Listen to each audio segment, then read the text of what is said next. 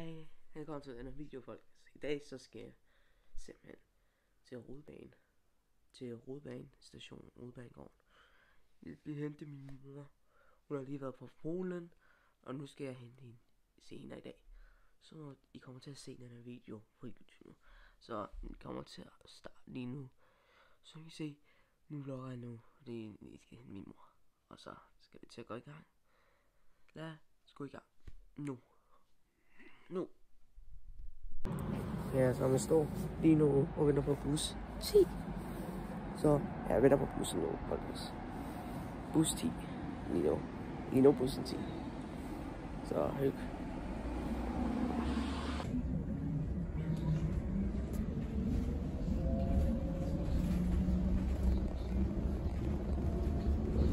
Så er det bussen nu 10. Næste stop. Det Peter Bangsvej. Folkens, jeg står i Lindholm station nu. Ja, øh, lige her. Lindholm station nu.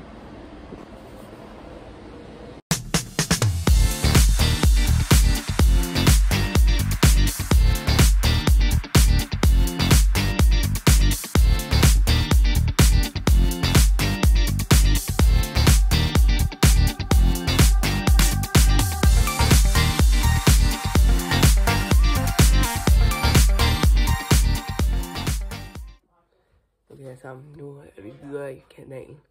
Og så vil jeg vise jer lige om lidt min julekalender. Fordi det står lige på min story i, min, i dag. Så, så vi går ind, vi, vi kommer til at se.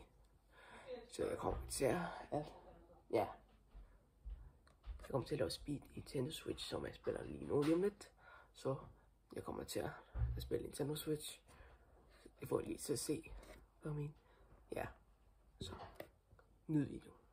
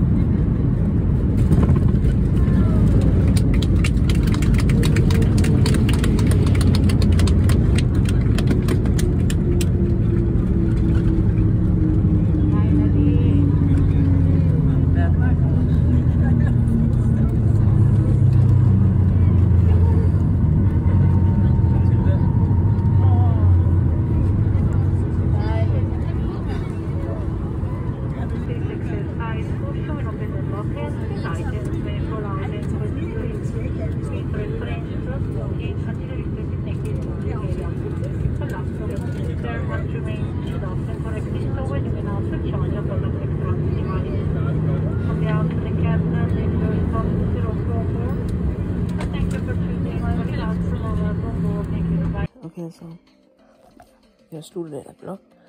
Så tak for at I så med. Like og subscribe. Husk at like.